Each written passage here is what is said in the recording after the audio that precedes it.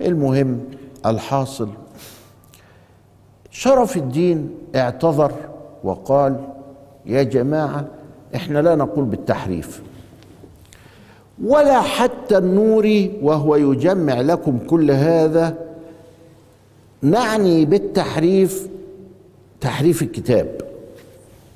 قال له طيب ماذا تعني؟ قال نعني القراءات الشاذة. أنتوا مش عندكم قراءات متواترة معتمدة مقروء بها في الصلاة؟ قالوا آه قالوا إحنا عندنا أيضا. وهناك قراءات الحقيقة انها غير مقروءة بها في الصلاة لأنها لأنها يا جماعة قراءات إيه؟ شاذ فده هو تحريف القرآن محاولة لتحريف القرآن لكنها لم تنجح. اللي هي طريقة إيه؟ القراءة الشاذة. في تسعين قراءة شاذة. فأجاب شرف الدين في الأجوبة على جار الله أنه لا يعنون بالتحريف إلا القراءات الشاذة.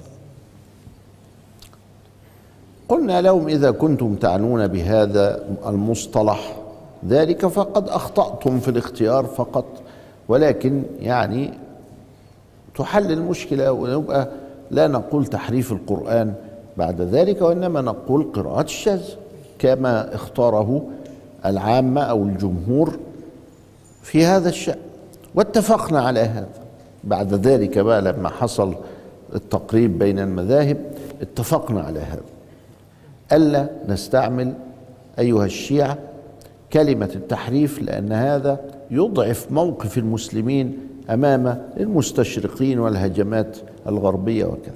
واتفقوا على هذا وأقروا لأنهم ادعوا أن هذا إنما هو من قبيل الشذوذ وليس من قبيل التحريف بمعناه الشائع كما حدث في الكتب السابقة.